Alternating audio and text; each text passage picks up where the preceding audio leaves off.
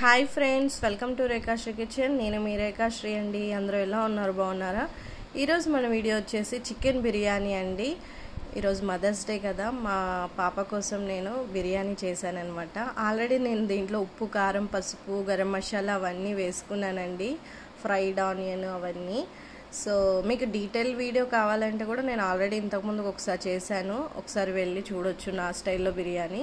So ఈరోజు కూడా కొంచెం కొత్తగా చేస్తున్నాను. కొంచెం tomatoes and rose flower petals ఉంటాయి కదండి అవి కూడా వేసి చేస్తున్నాను అనమాట సో ఇందులో నేను ఎక్స్ట్రాగా ఇప్పుడు ఆల్రెడీ అవన్నీ యాడ్ చేశాను. ఉప్పు కారం పసుపు అవన్నీ అల్లం వెల్లుల్లి పేస్ట్. ఇప్పుడు టమాటో పచ్చిమిర్చి అలాగే గులాబీ రేకులు ఉంటాయి కదండి అవి ఇంకానేమో కొత్తిమీర కరివే సారీ కొత్తిమీర పుదీనా అండి. అవి కూడా వేసి కలిపేస్తున్నాను. సో ఆల్మోస్ట్ ప్రాసెస్ అందరికీ తెలుసు దీంట్లో ఏమేమి వేయాలి అనేది. సో నేను అంటే మా పాప మదర్స్ డే కదా అయితే స్పెషల్గా అడిగిందనమాట. సో ఒకసారి ఎలాగో చేస్తున్నాను కదా అని చెప్పి మళ్ళీ నేను వీడియో పోస్ట్ చేస్తున్నాను మీకు. సో ఇలా అన్నీ మిక్స్ చేసుకోవాలన్నమాట. ఇవన్నీ వేసేసుకొని ఇలా కలిపేసుకొని పక్కకు పెట్టుకోవాలి ఒక హాఫ్ అన్ అవర్. ఈ లోపు నేను రైస్ కూడా నానబెట్టుకున్నానండి. రైస్లో బాస్మతి రైస్ తీసుకున్నాను. దీంట్లో హోల్ గరం మసాలా మొత్తం వేసేసుకున్నాను. అలాగే వాటర్ కూడా తగినంత వేసేసుకున్నాను. కొద్దిగా ఆయిల్ సాల్ట్ కూడా వేసుకున్నానండి. వేసుకొని ఇప్పుడు రైస్ ఉడికించడానికి పెట్టేద్దాము. సో మనకి చికెన్ కూడా ఒక హాఫ్ అన్ అవర్ అయిపోయిందండి. సో ఇప్పుడు ఒక ఏదైతే మనం బిర్యానీ చేస్తాం అలాంటి గిన్నెలో నేను ఇలా ముందు చికెన్ ఫ్రై చేసుకుంటున్నాను. కొద్దిగా ఫ్రై చేసుకోవాలి చికెన్. ఇలా ఫ్రై చేసుకున్న తర్వాత ఇంకో పక్కన మనకి రైస్ ఉడికిపోతుంది. కొంచెం ఇలా చేసుకోవడం వల్ల కొద్ది త్వరగా అయిపోతుంది అనమాట ఇంకా ఇంకా ఫాస్ట్గా అయిపోతుంది. సో చూస్తున్నారు కదా ఒక సైడ్ ఇది ఒక సైడ్ ఇది పెట్టి చేశాను. చాలా అంటే చాలా టేస్టీగా ఉందండి. ఇలా గులాబీ రేకులు టమాటో ఫ్లేవర్ వేసుకుంటే.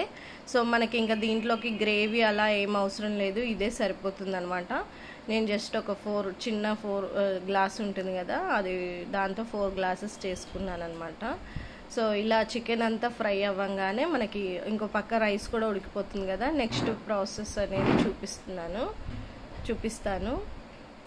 సో ఇలా ఫ్రై అయిన తర్వాత ఇది స్టవ్ ఆఫ్ చేసేసుకోవాలి. ఇక్కడ మనకి రైస్ కూడా ఉడికిపోయింది కాబట్టి ఇప్పుడు లేయర్ కింద వేసేసుకోవాలండి. అంటే ముందు చికెన్ తర్వాత దానిపై నుంచి రైస్ అలాగే ఫ్రై చేసి పెట్టుకున్న ఫ్రైడ్ ఆనియన్స్ ఇలా వేసేసుకొని మళ్ళీ తర్వాత మనం దీని మీద నుంచి మిగతా రైస్ మొత్తం వేసేసుకుంటున్నాను. సో ఇలా ఒకసారి ట్రై చేయండి గులాబీ రేకులు అండ్ టమాటా వేసుకొని. చాలా అంటే చాలా టేస్టీగా ఉంది. మనకి సేమ్ బయట ఎలా దొరుకుతుందండి ఫ్లేవర్ అలాగే ఉంటుందన్నమాట. సో ఇలా మొత్తం రైస్ కూడా వేసేసుకొని మిగతా ఫ్రైడ్ ఆనియన్స్ కూడా వేసుకొని పైనుంచి కొత్తిమీర అలాగే పుదీనా అండి వేసేసుకొని మూత పెట్టి ఒక టెన్ టు ట్వంటీ మినిట్స్ అలా సిమ్లోనే పెట్టి ఫ్రై చేసుకో అదే ఉడికించుకోవాలండి. రైస్ దమ్ చేయాలి.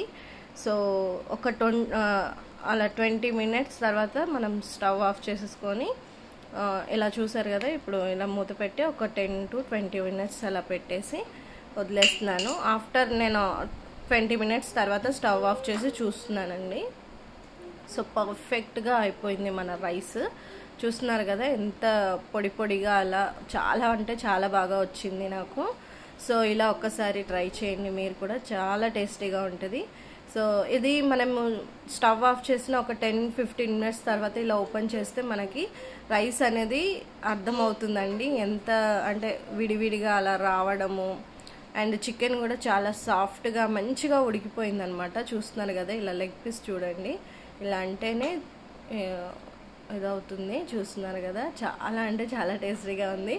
సో ఒక్కసారి ఇలా ట్రై చేయండి. సో నా ఈ వీడియో మీకు నచ్చితే లైక్ చేయండి షేర్ చేయండి సబ్స్క్రైబ్ చేసుకోండి. So once again happy mothers day అండి మన యూట్యూబ్ ఫ్యామిలీ మొత్తానికి. సో చూస్తున్నారు కదా చూస్తుంటేనే నోరు ఊరిపోతుంది. ఐ థింక్ మీకు ఈ వీడియో నచ్చిందని అనుకుంటాను. ఈ వీడియో నచ్చితే లైక్ చేయండి షేర్ చేయండి సబ్స్క్రైబ్ చేసుకోండి. సో మరో రెసిపీతో మళ్ళీ మేము ముందుకు వస్తానండి. వీడియో చూసిన తర్వాత లైక్ ఇవ్వడం మాత్రం మర్చిపోకండి. మీరు ఇచ్చే లైక్ వల్ల ఇంకా కొంతమందికి రీచ్ అవుతుందండి నా వీడియో. ఇలాగే నన్ను ఎప్పుడు సపోర్ట్ చేస్తారని అనుకుంటున్నాను. సో అది ఫ్రెండ్స్ మరి. సో మరో రెసిపీతో మళ్ళీ మేము ముందుకు వస్తాను. బాయ్ అండి.